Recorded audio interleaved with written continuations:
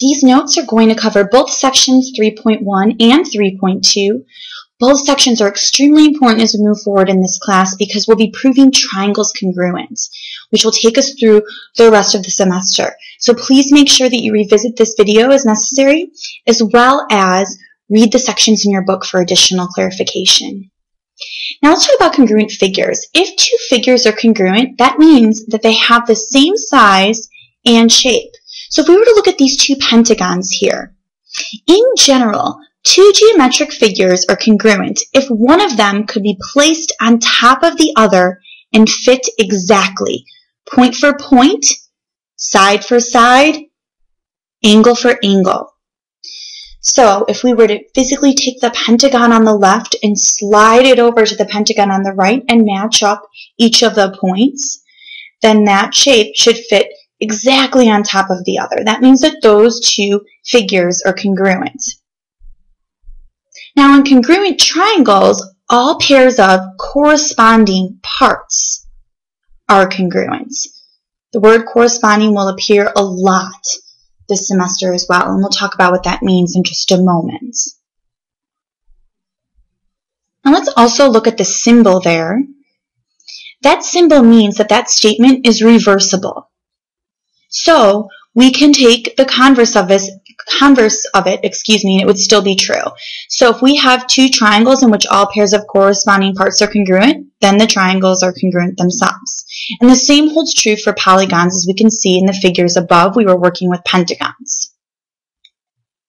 Now let's talk a little bit more about what it means to be corresponding. So if I give you this statement here that says triangle ABC is congruent to triangle HIJ, we can use that statement to recognize the corresponding sides. As you can see, I'm taking the first two letters. So A and B, those two letters are in the same location as H and I in the second triangle. So that's a pair of corresponding sides. Same with B and C. B and C and I and J are in the same location, the middle letter and the last letter in each triangle. So we can say that BC and IJ are corresponding sides. And then we could take the first letter and the last letter in each triangle. So AC and HJ are corresponding sides as well. Now, if you didn't want to use that, if you're more a more visual person, feel free to draw out two triangles. Just make sure that you label them carefully.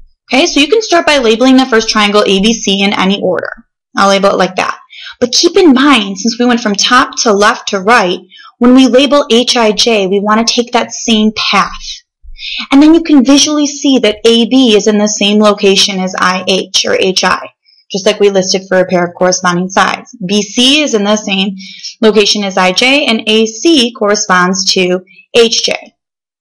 And now we can list our corresponding angles. Once again, you can use the original statement and recognize that A and H are in the same location, so angle A corresponds with angle H. You can also use your diagram to recognize that as well, since A and H are corresponding angles, they're in the same location. B and I correspond. And also, C and J, they're the last letters in those statements, statement above. And if you look at the diagram that we drew out, C and J are also in the same location. Okay, so that's another way to look at it visually. What I'd like you to do now is pause the video and I want you to try out this example on your own. So please do that for me at this point. Okay, let's go ahead and double check your answers with mine. If you chose to draw out a diagram, you could have as well. But please double check your answers with mine, and then once you're done, we'll start back up with the second part of the notes in just a moment.